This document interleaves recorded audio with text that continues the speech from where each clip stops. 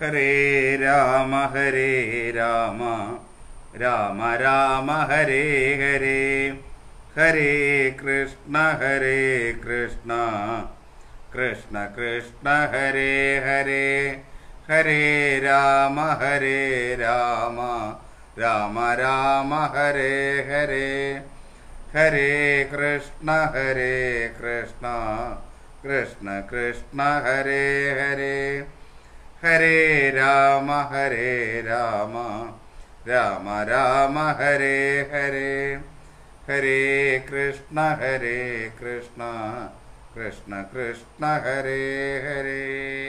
ഭഗവാനെ ഓം നമോ ഭഗവതേ വാസുദേവായ കൃഷ്ണം നാരായണം വന്ദേ.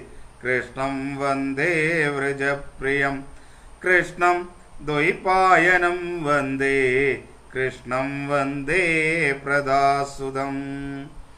സച്ചിദാനന്ദരൂപായ വിശ്വോത്പത്യാദിഹേതവേ താപത്രയ വിനാശായ ശ്രീകൃഷ്ണായ വയം നമ.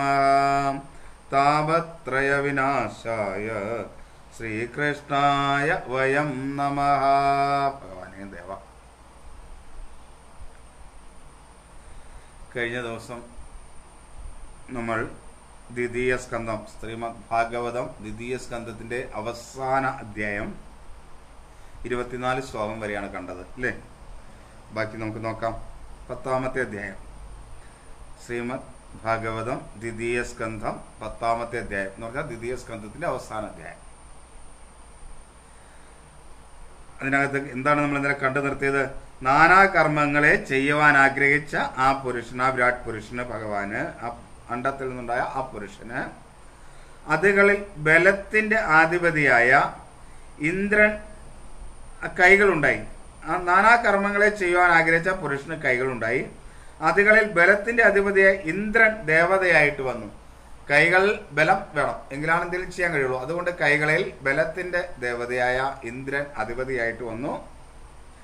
അങ്ങനെ ഇന്ദ്രിയങ്ങളുടെയും ദേവതകളുടെയും സംയോഗ നിമിത്തം ജനിക്കുന്നതായ ആധാനം എന്ന പ്രവൃത്തിയും ഭവിച്ചു.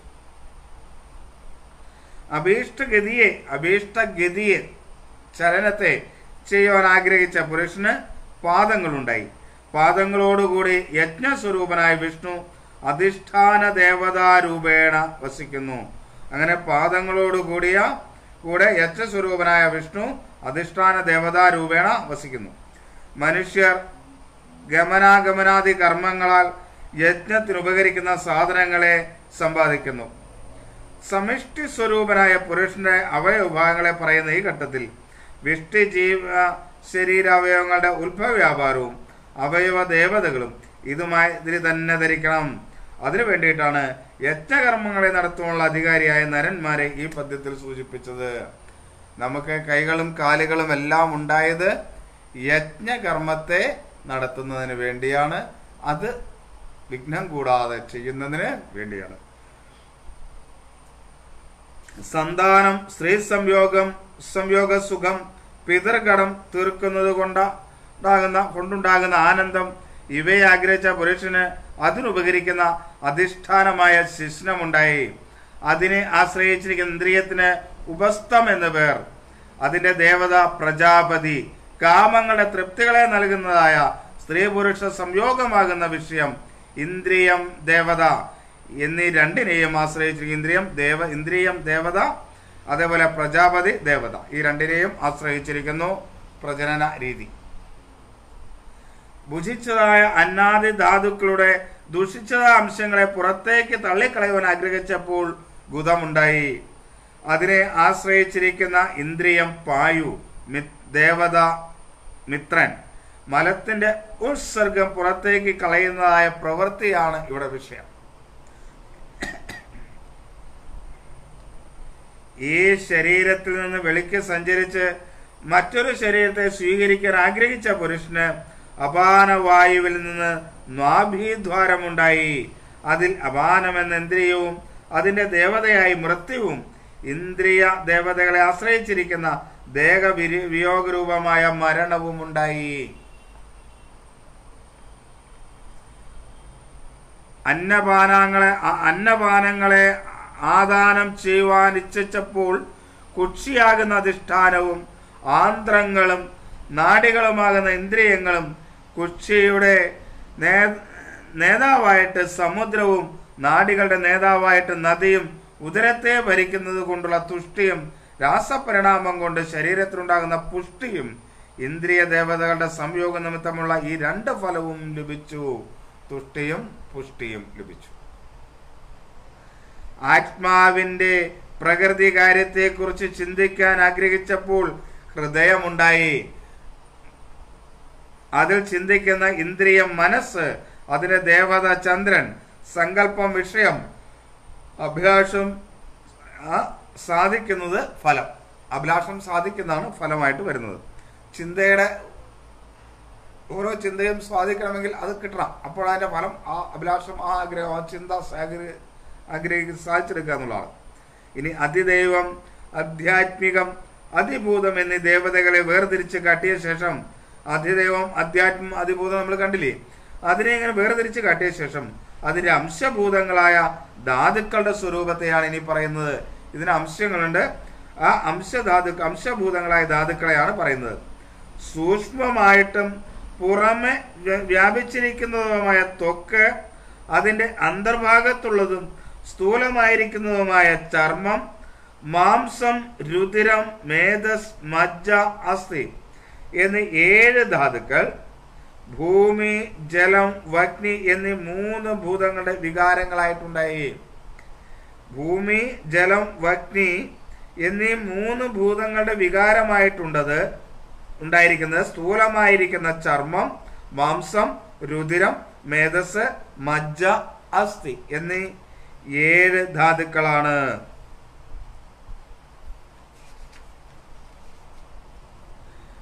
ചക്ഷുരാദികളായ ഇന്ദ്രിയങ്ങൾ ഇന്ദ്രിയങ്ങൾ ചക്ഷുരാദികളായ ഇന്ദ്രിയങ്ങൾ രജോഗുണ കാര്യങ്ങൾ രജോഗുണ കാര്യങ്ങളാണ് ഇന്ദ്രിയങ്ങൾ കൊണ്ട് ചെയ്യുക. അതുകൊണ്ട് ശബ്ദാദി ഗുണങ്ങൾ അവയെ ഉന്മുഖങ്ങളാക്കുന്നു. ഗുണങ്ങളാകട്ടെ ഭൂതാദിയായ അഹങ്കാരത്തിന്റെ കാര്യമാണ്. മനസ്സ് കാമാദികളായ സർവ വികാരങ്ങളുടെ സ്വരൂപമാണ്. ബുദ്ധി വിജ്ഞാന സ്വരൂപവുമാണ്. പലവിധമായ ജ്ഞാനത്തിന്റെ സ്വരൂപമായിരിക്കുന്ന അല്ലെ പരമാർത്ഥത്തെ മാത്രം ഗ്രഹിക്കുന്നതല്ല ബുദ്ധി. ഈ ബുദ്ധി എന്ന് പറയുന്നത് അതിന്റെ യഥാർത്ഥ വസ്തുവിനെ മാത്രം ഗ്രഹിക്കുന്നതല്ല പല പല വസ്തുക്കളുടെ ജ്ഞാനം ഉണ്ടാക്കി തരുന്നു മാത്രമേ ഉള്ളൂ. അതിന്റെ യഥാർത്ഥ രൂപത്തെ ഒന്നും ബുദ്ധി കാണുന്നില്ല. പുറത്ത് കാണുന്ന രൂപത്തെയാണ് അങ്ങനെ ധരിക്കാനാണ് ബുദ്ധി ഉണ്ടാവുക. ഇതുവരെ പറഞ്ഞ സ്വരൂപത്തെ ഉപസംഹരിക്കുകയാണ് ഇവിടെ. പൃഥ്വി ജലം അഗ്നി വായു ആകാശം അഹങ്കാരം മഹതത്വം അവ്യക്തം എന്നീ എട്ട് വിധം ആവരണങ്ങൾ ബഹിർഭാഗത്താൽ മറയ്ക്കപ്പെട്ടതും ബ്രഹ്മാണ്ഡ രൂപവുമായ ഭഗവാന്റെ സ്ഥൂല രൂപം ഇതാകുന്നു. ഭഗവാന്റെ സ്ഥൂല രൂപം എന്ന് പറഞ്ഞ ഇപ്പോൾ ഈ കാര്യങ്ങളാണ് ആ ബ്രഹ്മാണ്ഡം പിളർന്നു കഴിഞ്ഞപ്പോൾ ആ ജലത്തിൽ ഇങ്ങനെ കടന്ന് ആയിരത്തി വർഷങ്ങളോളം ശലിച്ചു. അങ്ങനെ ജലത്തിൽ ശയിച്ചു കഴിഞ്ഞു കഴിഞ്ഞപ്പോൾ കുറച്ച് കഴിഞ്ഞപ്പോൾ ഓരോരോ അവയവങ്ങൾ ഓരോരോ വികാരങ്ങൾ ഇങ്ങനെ ഉണ്ടായി. ആ വികാരങ്ങൾക്കനുസരിച്ചുള്ള അവയവങ്ങളും ഉണ്ടായി. അതനുസരിച്ച് അവയവങ്ങളിൽ ആ വികാരത്തിന് തത്തുല്യമായ ദേവതകളും സ്ഥാനം പിടിച്ചു. അതാണ്. സ്ഥൂല രൂപത്തെ പറഞ്ഞതിന് ശേഷം വിലക്ഷണവും സൂക്ഷ്മവുമായ സമിഷ്ടി ശരീരത്തെ പറ്റാണ് ഇനി പറയുന്നത് ഇനി സമിഷ്ടി ശരീരം.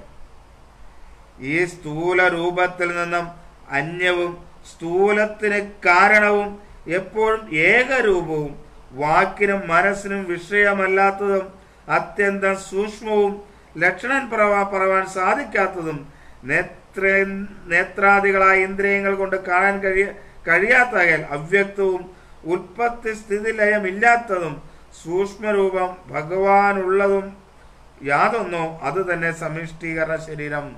അപ്പോൾ വ്യക്തമായിട്ട് നമുക്കറിയാം നമുക്ക് കണ്ടെത്താൻ കഴിയാത്ത കാണാൻ കഴിയാത്ത സ്പർശിക്കാൻ കഴിയാത്ത ആയ രൂപമാണ് സമിഷ്ടി രൂപം. ഈശ്വരനെ ഉപാസിക്കാൻ വേണ്ടി പ്രയപ്പെട്ടതായ ഭഗവാന്റെ ഈ രണ്ട് രൂപങ്ങളും മായാകൽപിതങ്ങളാണ് നമുക്ക് ഉപാസന നടത്തുന്നതിന് വേണ്ടി നമുക്ക് ഭജിക്കുന്നതിന് വേണ്ടിയാണ് ഈ രണ്ട് രൂപങ്ങളും പറഞ്ഞിട്ടുള്ളത്. ഇത് ഭഗവാന്റെ മായാകൽപ്പിതങ്ങളാണ്. സ്ഥൂല സൂക്ഷ്മങ്ങളായ ഭഗവാന്റെ ഈ രണ്ട് രൂപങ്ങളും ഉപാസിക്കാനുള്ള മാർഗമായിട്ട് ഞാൻ അങ്ങയോട് വർണ കർമ്മത്തിൽ വർണിച്ചു. ഈ സ്ഥൂല സൂക്ഷ്മ ശരീരങ്ങളെ ഉപാസിക്കാൻ ആയിട്ടുള്ള രൂപമായിട്ട് കണ്ടിട്ട് ഇതങ്ങ് സ്വീകരിക്കണം. ഞാനിതിനെ അതിനു വേണ്ടിയാണ് അങ്ങയോട് വർണിച്ചത്. ഈ രണ്ട് രൂപങ്ങളെയും വിവേകികൾ പരാമർത്ഥങ്ങളായിട്ട് ധരിക്കുന്നില്ല. ശരിക്കും ഈ സ്ഥൂല സൂക്ഷ്മ രൂപങ്ങൾ വിവേകത്തിലേക്ക് എത്തിക്കഴിയുമ്പോൾ അത് പരമാർത്ഥമായിട്ട് അറിയുന്നില്ല. വിവേകത്തിലേക്ക് എത്തുന്നത് വരെ മതി ഇതിനെ സ്വീകരിക്കാൻ ഈ സ്ഥൂല സൂക്ഷ്മ ശരീരങ്ങളെ സ്വീകരിക്കാൻ എന്നാ പറയാം. വിവേകത്തിൽ എത്തിക്കഴിഞ്ഞാൽ പിന്നെ ഈ സ്ഥൂല സൂക്ഷ്മ ശരീരത്തിന്റെ ആവശ്യമില്ല.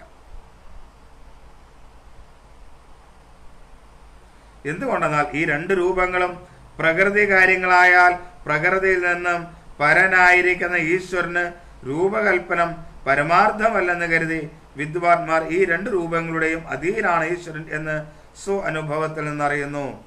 എന്തുകൊണ്ടത് അങ്ങനെ പറഞ്ഞെന്ന് വെച്ചാൽ ഏത് സ്ഥൂലവും സൂക്ഷ്മവുമായ സ്വഭാവത്തിൽ രൂപത്തിൽ നിന്നൊക്കെ പരമായിട്ടുള്ളതാണ് അധീനമായിട്ടുള്ളതാണ് ഈശ്വരൻ. സ്ഥൂല സൂക്ഷ്മ ശരീരത്തിൽ നിൽക്കുന്നതല്ല ഈശ്വരൻ എന്ന് ശരിക്കും മനസ്സിലാക്കിയവർ ഈ അത് മനസ്സിലാക്കുന്നത് വരെ സൂര സൂക്ഷ്മ ശരീരത്തെ ഉപാസിച്ചാൽ മതി എന്ന് പറയാം. അതിലും പുറത്താണ്. അതിൽ പരമായിട്ടുള്ളതാണ് ഭഗവാൻ എന്ന് അറിയുന്നു. ഭഗവാൻ സർവാത്മാവായിരിക്കുന്നുവെന്ന് പറഞ്ഞല്ലോ. അതിനെ പറയാം. പ്രകൃതി ഗുണങ്ങളുടെ സമ്പർക്കമില്ലാതിരിക്കുന്നതിനാൽ വ്യാപാരികള വ്യാപാരികൾ ഇല്ലാത്തവനാണെങ്കിലും ബ്രഹ്മരൂപത്തെ ധരിച്ചവനായിട്ട് വ്യാപാരമുള്ളവനായും പ്രാണികളെപ്പറ്റി വ്യവഹരിക്കുന്നതിന് ദേവൻ മനുഷ്യൻ എന്നിങ്ങനെയുള്ള നാമങ്ങളെയും ആ നാമങ്ങളാൽ പറയപ്പെടാൻ യോഗ്യങ്ങളായ ദേവ മനുഷ്യാദി രൂപങ്ങളെയും അധികാരി താരതമ്യേന ഫലഹേതുഭൂതങ്ങളായിരിക്കുന്ന കർമ്മങ്ങളെയും സൃഷ്ടിക്കുന്നു. ഇത് ഭഗവാൻ തന്നെ അല്ലെങ്കിലും അതിനാധാരമായിട്ടുള്ള രൂപങ്ങളെയൊക്കെ ഭഗവാൻ സൃഷ്ടിക്കുന്നു. നാമരൂപ ക്രിയാതിഭേദേന പറയപ്പെടുന്നതെല്ലാം സത്യാധിഷ്ഠാനം ഭഗവാൻ ഏകൻ തന്നെയാണ്. പല രൂപത്തിൽ പല നാമങ്ങളിൽ പല രൂപത്തിൽ കാണുകയും പല നാമങ്ങളിൽ കേൾക്കുകയും ഒക്കെ ചെയ്യുന്നത് സത്യത്തിൽ വ്യത്യസ്തമാണെന്ന് തോന്ന തോന്നേണ്ട കാര്യമില്ല. അത് ഏകമായ ഭഗവാൻ തന്നെയാണ്. ബ്രഹ്മാവ് നിർമ്മിക്കുന്ന രൂപങ്ങളെ വിസ്തരിച്ച് കാണിക്കുകയാണ്. ഹേ രാജാവേ പ്രജാപതികൾ മനുക്കൾ ദേവന്മാർ ഋഷികൾ പല പിരിവുകളുള്ള പിതൃക്കൂട്ടങ്ങൾ സിദ്ധന്മാർ ചാരണന്മാർ ഗന്ധർവന്മാർ വിദ്യാധരന്മാർ അസുരന്മാർ ഗുഹ്യകന്മാർ കിന്നരന്മാർ അപ്സരസ്സുകൾ നാഗങ്ങൾ സർപ്പങ്ങൾ കിൻപുരുഷന്മാർ ഉരകങ്ങൾ മാതൃക്കൾ രക്ഷസന്മാർ രാക്ഷസന്മാർ പിശാചികൾ പ്രേതങ്ങൾ ഭൂതങ്ങൾ വിനായകന്മാർ കൂഷ്മാണ്ഡ ഗ്രഹങ്ങൾ ഉന്മാദ ദേവതകൾ വേതാളങ്ങൾ യാതുദാനന്മാർ ഗ്രഹങ്ങൾ പക്ഷികൾ മൃഗങ്ങൾ പശുക്കൾ വൃക്ഷങ്ങൾ ഗിരികൾ മലമ്പാമ്പുകൾ ഈ വക രൂപങ്ങളെ സൃഷ്ടിക്കുന്നു. കർമാനുസരണ ബഹുവിധ ശരീരങ്ങളിൽ ജീവരൂപേണ ബഹു ഭഗവാൻ തന്നെ വ്യാപരിക്കുന്നു. ഇങ്ങനെ പലവിധ രൂപങ്ങൾ ഉണ്ടെങ്കിലും ഇതിലെല്ലാം ഭഗവാൻ തന്നെയാണ് വിരാജിക്കുന്നത്.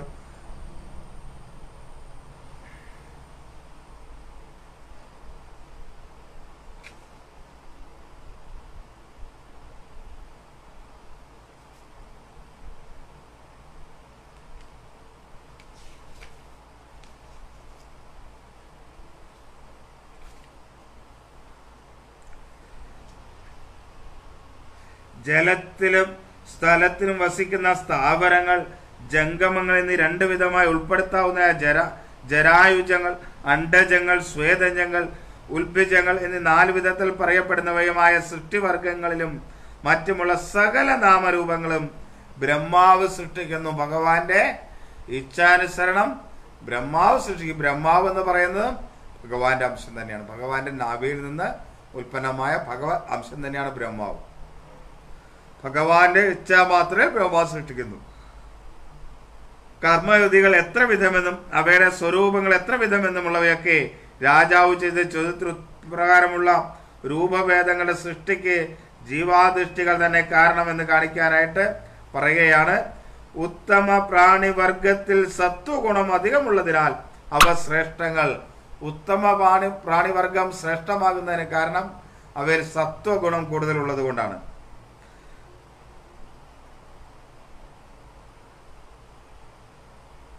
അധമ പ്രാണിവർഗത്തിൽ തമോ ഗുണം അധികരിച്ചിരിക്കുന്നാൽ അവ നികൃഷ്ടങ്ങൾ.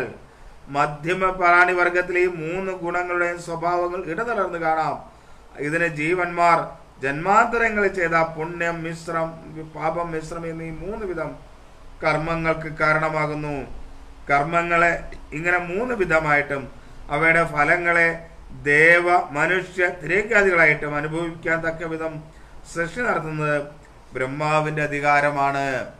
ഭഗവാന്റെ ജഡരത്തിലുള്ള ആത്മാക്കളെ അവരുടെ കർമ്മഫലം അനുസരിച്ച് ഓരോരോ ജീവികളായി ഇവിടെ അവരുടെ ആ ആത്മകർമ്മഫലം അനുഭവിക്കുന്നതിന് പറഞ്ഞു വിടുന്ന ചുമതല ഭഗവാന്റെ ദാവിയിൽ നിന്ന് തന്നെ ഉണ്ടായ ബ്രഹ്മാവിനാണ്. ഇനി ഇങ്ങനെ ദേഹം ഉണ്ടാകാൻ കാരണം എന്താ? ഹേ രാജാവേ സത്വം രജസ് തമസ് എന്നീ മൂന്ന് ഗുണങ്ങളിൽ നിന്നും ദേവന്മാർ മനുഷ്യർ തിരക്കുകൾ എന്നീ മൂന്ന് വിധം ഗതിഭേദങ്ങൾ ഉണ്ടാകുന്നു. സത്വം അധികരിക്കുമ്പോൾ പുണ്യകർമ്മം ചെയ്യും. അപ്പോൾ ഉത്തമന്മാരായ ദേവന്മാരായിട്ട് ഭവിക്കും. തമസ് അധികരിക്കുമ്പോൾ അധമങ്ങളായ കർമ്മങ്ങളുടെ ഫലമായിട്ട് തിരക് ജന്തുക്കളായിട്ട് ഭവിക്കും. രജസ് അധികരിക്കുമ്പോൾ പുണ്യപാപ മിശ്രമായ കർമ്മങ്ങൾ ചെയ്യും. അപ്പോൾ മനുഷ്യരായിട്ട് ഭവിക്കും. അതിനാൽ ഗതികൾ ഇങ്ങനെ മൂന്ന് വിധത്തിൽ ഭേദിക്കുന്നു. അതാത് ഫലങ്ങൾ അനുഭവിക്കാനുള്ള സ്വർഗം നരകം ഭൂലോകം എന്നിങ്ങനെ എന്നിങ്ങനെ സ്ഥലങ്ങളിലും മൂന്നായിട്ട് ഭേദിക്കുന്നു. ഈ ഓരോ വകുപ്പുകളിൽ കാണപ്പെടുന്ന ബഹുവിധ ഭേദങ്ങൾക്കും കാരണം സത്വാദി ഗുണങ്ങളുടെ താരതമ്യമകയിൽ അനേകം ഗതിഭേദങ്ങൾ കണ്ട് പരിശ്രമിക്കേണ്ടതില്ല. സത്വാദി ഗുണങ്ങളുടെ ഏറ്റക്കുറച്ചുകൾ അനുസരിച്ച് വിവിധ തരം ജന്തുവർഗങ്ങൾ ജീവവർഗങ്ങൾ ജന്തുവർഗങ്ങൾ എന്ന് പറഞ്ഞാൽ ജീവവർഗങ്ങൾ ഉണ്ടാകുന്നു.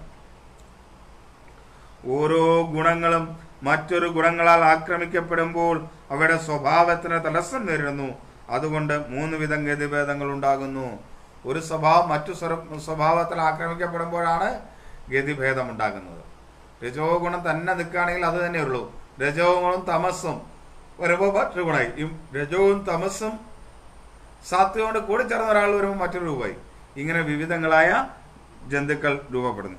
ഈ സ്വഭാവം അനുസരിച്ച് ബ്രഹ്മരൂപേണ സൃഷ്ടിക്കുന്നു വേണ്ടി കാണിച്ച ശേഷം വിഷ്ണു രൂപേണ സൃഷ്ടിക്കുന്നു രക്ഷിക്കുന്നു എന്ന് കാണാം. ജഗത്കർത്താവായ ഈ ഭഗവാൻ തന്നെ വിഷ്ണു രൂപേണ ധരിച്ചിട്ട് ഈ ലോകത്തെ അതാതിന്റെ നിലയ്ക്ക് ഓരോന്നിനെ നിലനിർത്തിക്കൊണ്ട് പരിപാലിക്കുന്നു. ഇതിനുവേണ്ടി ഭഗവാൻ തിരാവർഗങ്ങളിൽ സ്വരൂപത്തെ ധരിക്കുന്നു. ഓരോ അവതാരങ്ങളിൽ ആ ലോകത്തെ പരിപാലിക്കുന്നു.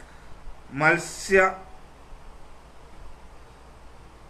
മത്സ്യക ചാപാതി തിരക്കവതാരം ശ്രീരാമകൃഷ്ണാദി മനുഷ്യാവതാരം വാവന സായുജാതി ദേവാധിക ദേവാവതാരം.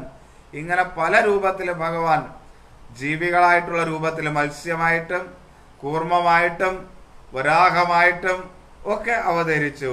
അതുപോലെ മനുഷ്യനായിട്ട് അവതരിച്ചു. ഇങ്ങനെ പല രീതിയിൽ ദേവന്മാര് വാമനൊക്കെ ആയിട്ട് ദേവരൂപത്തിൽ അവതരിച്ചു.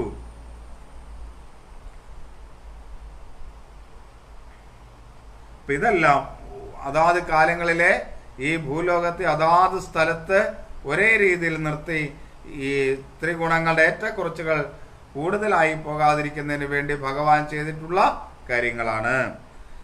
രുദ്രരൂപേണ സംഹരിക്കുന്നതും ആ ഭഗവാൻ തന്നെയാണ്. തന്നിൽ തന്നെ താനാകുന്ന ഉപദാന ദ്രവ്യത്തെ കൊണ്ട് സൃഷ്ടിക്കപ്പെട്ട ഈ വിശ്വത്തെ കാലം പ്രളയകാലത്തിലുണ്ടാകുന്ന അഗ്നി എന്നീ സാധനങ്ങൾ രുദ്രസ്വരൂപനായ ഭഗവാൻ തന്നിൽ തന്നെ സംഹരിക്കും. ലയിപ്പിക്കും.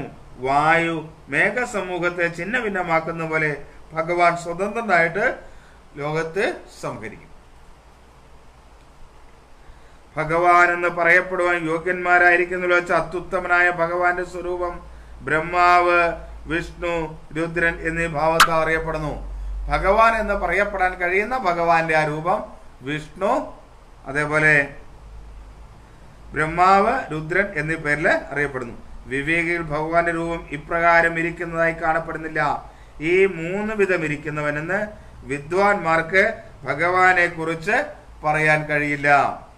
ഉപാസനയ്ക്കനുസരിച്ച് ഭഗവാന്റെ രൂപത്തെ ഈ വിധം പറഞ്ഞുവെന്ന് താരം സത്യത്തിൽ വാസ്തവത്തിൽ കാരണഭാവത്തിലും ഭഗവാനെ വർണിച്ചുകൂടാ. ഭഗവാൻ ഏകനായിട്ട് ഒന്നാണ് അത് വ്യത്യസ്ത രൂപത്തിൽ നമ്മുടെ ഉപാസനയ്ക്ക് വേണ്ടി നമുക്ക് സ്വീകരിക്കാം എന്ന് മാത്രമേ ഉള്ളൂ എന്നർത്ഥം.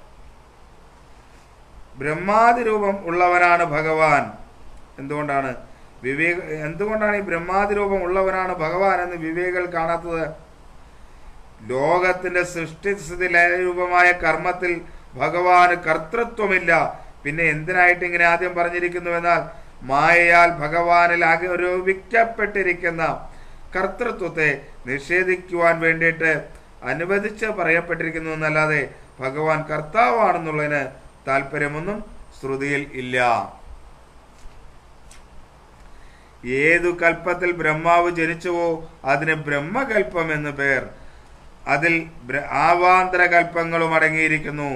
മഹാകൽപ്പം എന്നാണ് ബ്രഹ്മകൽപ്പത്തിന് പറയുന്നത്. ആ മഹാകൽപ്പത്തിൽ മഹത്തത്വം മുതൽ പൃഥ്വി വരെയുള്ള ഉൽപ്പത്തികളും പൃഥ്വിയാദി ഭൂതങ്ങളുടെ സമ്മേളനത്താൽ ഉണ്ടാകുന്ന സ്ഥാവരാദി ഉൽപ്പത്തികളും സാധാരണ ധർമ്മമാകുന്നു. ഈ ഉൽപ്പത്തികളെല്ലാം ബ്രഹ്മകൽപ്പത്തിന്റെ ഒരു സാധാരണ ധർമ്മമാണ്. കാലത്തിന്റെ പരിണാമത്തെയും കാലത്തിന്റെ ലക്ഷണത്തെയും അവ അവതാരകൽപ്പം മന്വന്തരം ഇവയുടെ സ്വരൂപത്തെയും പത്മകൽപ്പത്തെയും ഇനി നമുക്ക് മനസ്സിലാക്കാം. നോക്കാം എന്താന്ന് ഹേ സൂത ഭഗവത് ഭക്തന്മാരിൽ വെച്ച് ഉത്തമനായ വിതുരർ ഏത് വിധത്തിലും ഉപേക്ഷിക്കാൻ പ്രയാസമുള്ളതായ ബന്ധുക്കളെ ഉപേക്ഷിച്ച് ഭൂമിയിലുള്ള തീർത്ഥങ്ങളെ സേവിച്ച് സഞ്ചരിച്ചു എന്ന് പറഞ്ഞുവല്ലോ. ആ വിതുരരും മൈത്രേയ മഹർഷിയും തമ്മിലുണ്ടായ പരമാത്മ വിഷയമായ സംവാദം ഇവിടെ വെച്ചാണ് നടന്നത്. വിതുരുടെ ചോദ്യവും മഹർഷി പറഞ്ഞ ഉത്തരവും ഏതു വിധമാകുന്നു എന്ന് ശൗനകൻ വീണ്ടും ചോദിക്കുകയാണ്. ഹേ സൗമ്യ അപ്പൊ പറയുന്നു ഹേ സൗമ്യ വിതുരയുടെ പ്രവൃത്തിയും ബന്ധുക്കളെ ഉപേക്ഷിക്കാനുള്ള കാരണവും പിന്നെ മടങ്ങി വന്നത് എങ്ങനെയാണെന്നുള്ള സൽഗതിയും ഒക്കെ പറയാം. വിതുരരെ നാട് വിട്ടു പോയല്ലോ. അതിന്റെ കാരണം എന്താണ്? പിന്നെ മടങ്ങി വന്ന എങ്ങനെയാണ് എന്നൊക്കെ പറയണമെന്ന് ശൗനകൻ സൂതനോട് പറയുന്നു. ഹേ ഋഷികളെ സൂതൻ പറയാണ് ഹേ ഋഷികളെ പരീക്ഷ മഹാരാജ് ചോദിച്ചതിന് ശ്രീ ശുഖമുനി അരുൾ ചെയ്തതായ ഉത്തരത്തെ ആ ക്രമത്തിൽ തന്നെ ഞാൻ നിങ്ങളോടും പറയാം കേൾക്കൂ എന്ന് പറയുകയാണ്. ഇനി നമ്മൾ കാണാൻ പോകുന്നത് വിതുരരുടെ രാജകൊട്ടാരത്തിൽ നിന്നുള്ള യാത്രയും ആണ്. രാജകൊട്ടാരത്തിൽ നിന്ന് പോകുന്ന ആ തീർത്ഥത്തിനായിട്ട് പോകുന്ന ഇതാണ് നമ്മൾ ഇനി അടുത്ത ഇതിൽ സ്കന്ധത്തിൽ കാണാൻ പോകുന്നത്. ഇന്നങ്ങനെ ശ്രീമദ് ഭാഗവതത്തിന്റെ രണ്ട് സ്കന്ധങ്ങൾ തീർന്നു. എല്ലാവരും ഭഗവാൻ അനുഗ്രഹിക്കട്ടെ എന്ന് പ്രാർത്ഥിക്കുന്നു. ഓം നമോ ഭഗവതേ വാസുദേവായ. ഓം നമോ ഭഗവതേ വാസുദേവായ. ഓം നമോ